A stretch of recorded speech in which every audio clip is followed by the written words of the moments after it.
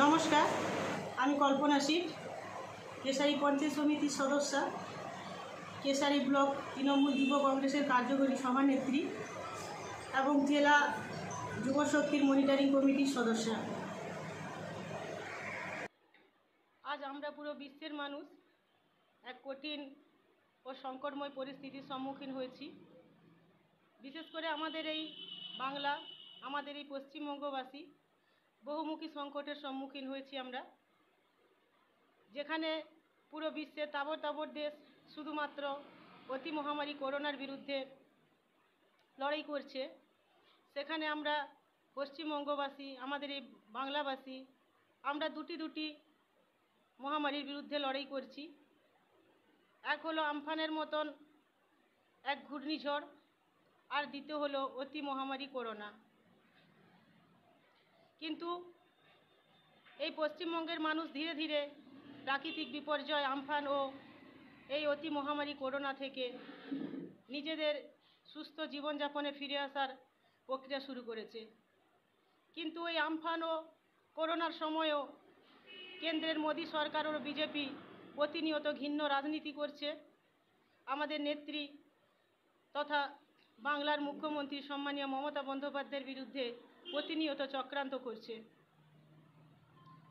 আমরা যখন পুরো বিশ্বে করোনা সংক্রমণ শুরু হলো, তখন আমাদের নেত্রী মমতা বন্দ্যোপাধ্যায় বলেছিলেন যে আন্তর্জাতিক বিমান বন্ধ করে দেওয়া হোক এবং এক রাজ্য থেকে আরেক রাজ্যে যে ট্রেন চলাচল হচ্ছে তা বন্ধ করে দেওয়া হোক।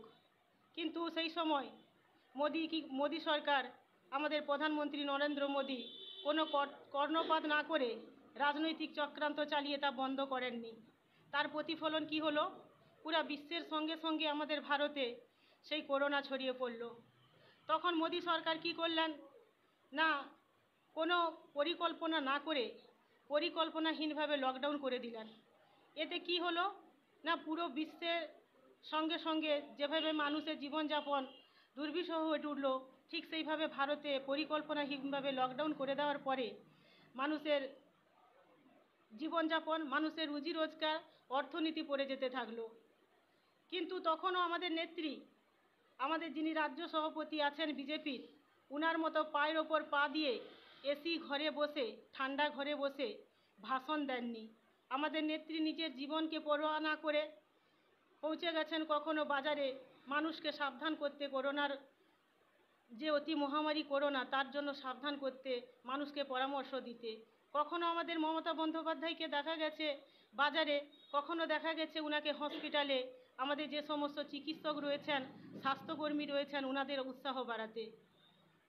অপরদিকে আমাদের যিনি বিজেপি রাজ্য সভাপতি আছেন, উনি নানা রকম কুরুচি সম্পন্ন কথা আমাদের নেত্রীর বিরুদ্ধে বলছেন। আমাদের এই মিদনাপুর লোকসভা কেন্দ্রের প্রার্থী হলেন আমাদের দিলীপ ঘোষ, এমপি। কখনো আমরা দেখিনি দিলীপ ঘোষকে এই করোনায়। কারও কাছে, মানুষের কাছে পৌঁছাতে, করোনার বিরুদ্ধে সাবধানতার কথা বলতে, মানুষের মুখে অন্ন তুলে দিতে।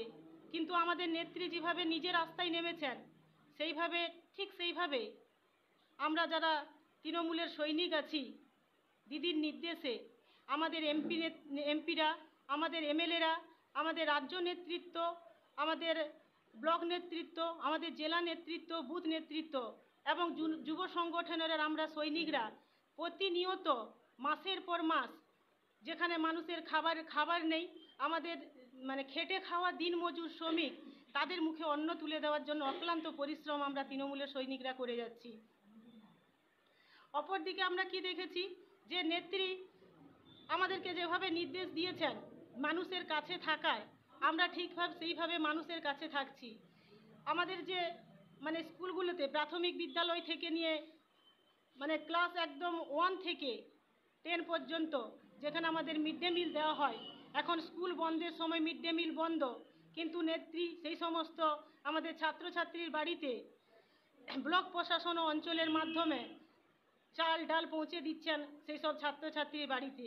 যে সমস্ত আইসিডিএসগুলোতে আছে, যেখানে ছোট ছোট বাচ্চার খাবার দেওয়া হয়, এখন সেই লকডাউনের জন্য করোনা থেকে মানুষ কীভাবে রক্ষে পাবে?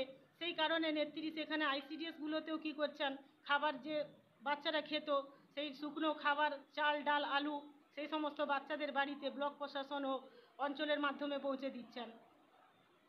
প্রতিনিয়ত আমাদের নেত্রীর একটাই চিন্তা যে এই মহামারী করোনা থেকে এই বাংলা কি করে রক্ষে পাবে? আমরা পশ্চিমবঙ্গবাসী এটাও দেখেছে, বাংলার মানুষ, জনগণ এটা দেখছে যে আমফানের সময় যে প্রাকৃতিক দুর্যোগ আমফান, যে সমস্ত জেলার উপর দিয়ে গেছে, কি মানুষের জনজীবন একেবারে ধ্বংস করে দিয়ে গেছে। সেই আমফানের খবর পেয়ে আমাদের নেত্রী নির্দেশ দিয়েছিলেন তৃণমূলের সৈনিকদেরকে যে মানুষরা যেখানে বিপদে পড়বে, আগে থেকে সেখানে সরিয়ে দিয়ে। তাই প্রায় বাংলার পাঁচ লক্ষ মানুষকে মানে নিরাপদ স্থানে সরিয়ে রাখা হয়েছিল আমাদের আমফানের আগের রাতে। কিন্তু কোথাও দেখা যায়নি বিজেপির নেতা, বিজেপির জেলা নেতৃত্ব, বিজেপির রাজ্য নেতৃত্ব, বিজেপির বুথ নেতৃত্ব কোথাওকে কোথাও ঝড়ের রাত্রে কোনো মানুষের কাছে দাঁড়াতে। ওনারা শুধু কি করেন? আমাদের নেত্রী কি করছেন? আমাদের তৃণমূলের সৈনিকরা কি করছে? আমাদের তৃণমূলের এমপি, এমএলএরা কি করছেন? মন্ত্রীরা কি করছেন? তার বিরুদ্ধে পিছনে লেগে থাকা। কিন্তু আমাদের নেত্রীর একটাই কথা, আগে মানুষের জীবন, পরে রাজনীতি। আপনারা সবাই জানেন যে এই গ্রাম বাংলায় যাতে এই মহামারী করোনা ও যেখানে যেখানে আমাদের প্রাকৃতিক বিপর্যয়, বিধ্বংসী ঘূর্ণিঝড়, আমফান হয়েছে, সেখানের মানুষ জনজীবন কি করে ধীরে ধীরে আরও ফিরে পাবে? সেই জন্য নেত্রীর নির্দেশে আমাদের সম্মানীয় সাংসদ এবং রাজ্য তৃণমূল যুব কংগ্রেসের সভাপতি সম্মানীয় অভিষেক ব্যানার্জি যুব শক্তির সূচনা করেছেন। এই যুব শক্তির মাধ্যমে আমাদের পুরো বাংলার প্রত্যেকটি বুথে, প্রত্যেকটি পাড়ায় পাড়ায় আঠেরো থেকে পঁয়ত্রিশের মধ্যে যে সমস্ত যুবক, যুবতী রয়েছে, তাদেরকে আমাদের যুব শক্তির মাধ্যমে মানুষের কাছে দাঁড়ানোর এই কর্মসূচি তিনি করেছেন। আমরা দেখেছি যে আমাদের নেত্রী রেশনের মাধ্যমে, এই লকডাউনের সময় রেশনের মাধ্যমে মানুষ যাতে ক্ষুধা নিবারণ করে, পেটে অন্ন দিতে পারে সেই জন্য রেশন ব্যবস্থার মাধ্যমে উনি চাল, ডাল, আটা ব্যবস্থা করেছেন। কিন্তু দিলীপ ঘোষ কি বললেন? যে দু টাকা কিলো চাল যেটা দরিদ্র মানুষরা খায়, সেটা নাকি গরু, ছাগল খায়। বাংলার মানুষ কিন্তু প্রত্যেকটা কথা মনে রাখছে। তাই দু হাজার একুশে ওরা কিন্তু ঠিক বুঝিয়ে দেবেন যে মানে খেটে খাওয়া মানুষ, দরিদ্র মানুষকে গরু, ছাগল তুলনা করার তার কি ফল হয়? এদিকে মানুষ খেতে পাচ্ছে না। এদিকে কি দেখা যাচ্ছে? যে অমিত শাহ, নরেন্দ্র মোদী কোটি কোটি টাকা খরচ করে এলইডি টাঙিয়ে ভোটের প্রচারে নেমে গেছেন। আমরা দেখেছি যে আমেরিকায় লক্ষ লক্ষ মানুষ সেখানে মৃত্যু মিছিল চলছে। কিন্তু আমাদের ভারতের অন্যান্য যে মৃত্যুর হার বেড়ে চলেছে। কিন্তু একমাত্র আমাদের নেত্রী মমতা বন্দ্যোপাধ্যায়, উনার অক্লান্ত পরিশ্রম, দিনরাত যেভাবে তিনি আমাদের বাংলার জন্য খেটে চলেছেন, সেখানে আমাদের পশ্চিমবঙ্গে করোনার পরিমাণ অনেক কম। যেভাবে সংক্রমণের সংখ্যা বাড়ছে, সেইভাবে আমাদের করোনা যাদের সংক্রমণ হচ্ছে, তারা সুস্থ হয়ে বাড়িও ফিরছেন। উনি স্বাস্থ্যক্ষেত্রে যে সমস্ত চিকিৎসক রয়েছেন স্বাস্থ্যকর্মী রয়েছেন তাদের জন্য উন্নত মানের কিট, গ্লাভস, মাস্ক, স্যানিটাইজারের ব্যবস্থা করেছেন। দেখেছেন যে স্বাস্থ্যকর্মীদের উনি বেতন বৃদ্ধিও করেছেন। যে সমস্ত আশা দিদিরা এই করোনার সঙ্গে যুক্ত হয়েছেন, মানুষের বাড়িতে বাড়িতে গিয়ে করোনা সার্ভে করছেন ওনাদের ওনাদের উৎসাহ বাড়ানোর জন্য নেত্রী ওনাদের ভাতার বৃদ্ধি করেছেন। আমাদের যিনি রাজ্য সভাপতি আছেন দিলীপ ঘোষ, উনি যখনই মুখ খুলেন, বিজেপির রাজ্য সভাপতি উনি কোনো ভালো কথা বলেন না। মানুষের উন্নয়নের কথা বলেন না। মানুষের কাছে দাঁড়ানোর কথা বলেন না। মান ওদের ওনাদের যিনি সৈন্য মানে কর্মী আছেন, উনি কি বলেন? যে আমরা বদলা নেব, ইঞ্চিতে ইঞ্চিতে বদলা নেব। কিন্তু আমাদের নেত্রী বলেছিলেন যে বদলা নয়, বদলের বদল চাই। কিন্তু রাজ্য সভাপতি দিলীপ ঘোষ, বিজেপি কি বলছেন? যে বদলা চাই। আপনারা দেখেছেন যে এই করোনার সময় যারা ভিন্ন রাজ্যে আটকে পড়েছিল, পরিযায়ী শ্রমিকরা, যখন আমাদের নেত্রী বলেছিলেন যে মানে ট্রেন বন্ধ করে দেওয়ার জন্য, তখন কিন্তু মোদী সরকার শোনেননি। তখন কিন্তু উনি চিন্তা করেননি যে রাজ্যে, যে সমস্ত রাজ্যে আমাদের এই পশ্চিমবাংলা থেকে ছাত্রছাত্রীরা পড়াশোনা করতে গেছে, যারা রুজি রোজগারের সন্ধানে ওখানে গেছে অন্যান্য রাজ্যে, তাদের কি অবস্থা হবে? লকডাউন করে দেওয়ার ফলে বিভিন্ন রাজ্যে যারা আটকে পড়েছিল, সেই যে পরিযায়ী শ্রমিকদের ওপরে কি অকথ্য অত্যাচার চলেছে? কিন্তু আমাদের নেত্রী, যে সমস্ত রাজ্যে আমাদের এখানের দাদা ভাইয়েরা আমাদের পেটের দায়ে ওখানে কাজ করতে গেছিলেন, তাদের কীভাবে ফিরিয়ে এনেছেন? সেই ট্রেনের টাকা পর্যন্ত নরেন্দ্র মোদী আমাদের সরকারের থেকে নিয়েছেন।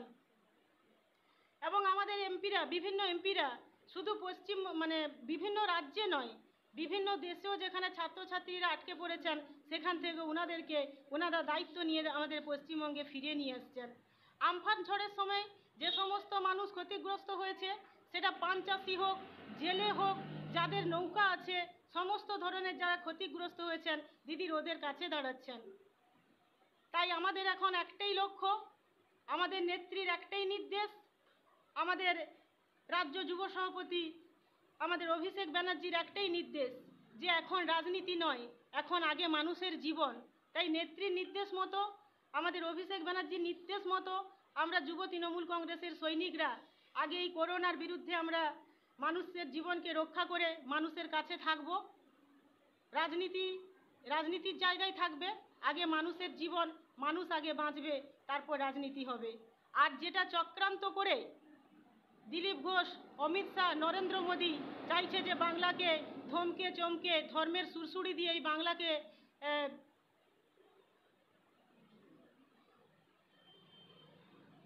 ধর্মের সুরসুড়ি দিয়ে এই বাংলাকে তারা জয় করে নেবে। ওনাদের এই স্বপ্ন, দিবা স্বপ্ন, দিবা স্বপ্নই থেকে যাবে। কারণ আমরা বাং- আমরা বাংলার যুবরা, আমাদের সম্মানীয় সাংসদ ও রাজ্য যুব সভাপতি যে যুব শক্তির সূচনা করেছেন, সেই যুব ভাইয়েরা সেই যুব শক্তির মাধ্যমে আমরা দেখিয়ে দেব যে বাংলা, বাংলায় মমতা বন্দ্যোপাধ্যায় শেষ কথা বলবে। দু হাজার একুশে আবার মমতা বন্দ্যোপাধ্যায় বাংলার মুখ্যমন্ত্রী হবেন। তাই আমরা যুব শক্তির মাধ্যমে সূচনা করেছি গ্রাম বাংলার মানুষের কাছে থাকার জন্য। নমস্কার।